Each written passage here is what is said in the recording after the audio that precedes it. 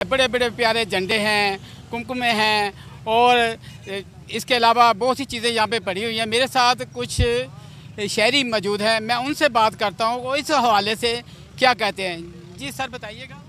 जी, अस्सलाम वालेकुम वरहमतुल्लाहि वबरकातुहू।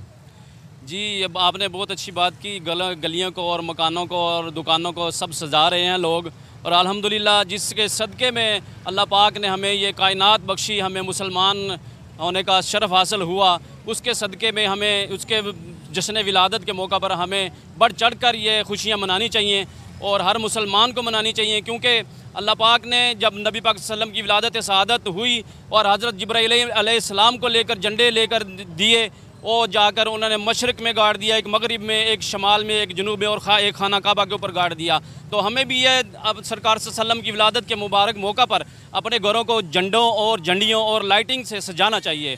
बिल्कुल हमें ये, ये जश्न ईद मिलादुलनबी शरीयत के दायरे में रहकर और अल्लाह के अहकामात के ऊपर अमल करके नबी पाक वसल्लम की ज़ात अकदस पर दरुद सलाम के नजराने पेश करके ये जश्न ईद मिलादुलनबी मनाना चाहिए।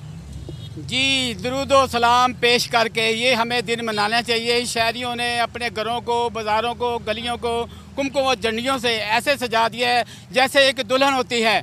मेरे पास एक छोटे से प्यारे से खूबसूरत से बच्चे भी खड़े हैं। मैं उनसे भी बात करता हूँ वो इस हवाले से क्या कहते हैं? अल्लाह ही अल्लाह सरकार सरकार की आमद मरहबा मरहबा।